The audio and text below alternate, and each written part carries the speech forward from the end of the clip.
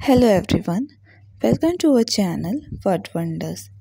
we are here with new word coat coat का हिंदी शब्दार्थ होता है coat in English we can see that